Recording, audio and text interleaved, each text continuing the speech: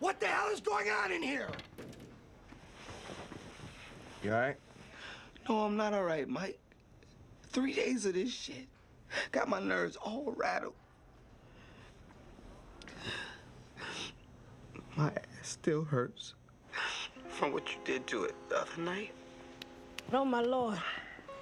Hey, it got rough. You know.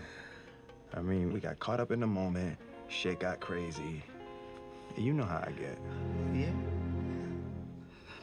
When you pop me from behind, I think you damaged some nerves. Okay. Now I, I can't. Now I can't, Can't what? I can't even get an erection. What's an erection? I try taking Viagra. You know, pop one, pop two. Been eating them like Skittles. That poor man is pouring out his heart. I'm still flaccid. Um, okay. I'm comfortable talking to you It's got 5.1 Dolby. about that did your ass. But you not getting an erection? That's a real problem for me. I just figured I could talk to you. Yeah, yeah, yeah. No, no. We, we, we partners, but we are partners with boundaries. Um, we got a new rule. From now on, you can't say the word flaccid to me.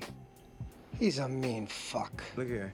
This is our little boundary box. So we're gonna take the word flaccid and we're gonna put it in there with my mom's titties, with your erection problems, and we're gonna close this box and we're gonna throw this bitch in the ocean. And the only way that you can get to this box is you got to be motherfucking Jacques Cousteau.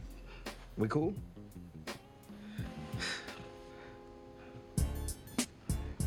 Nah. Oh shit. We gotta go. In front of my babies, you got porno and homo shows up in here? What kind of freak ass store is this? Mm. And you two motherfuckers need Jesus. Cover your ears, baby.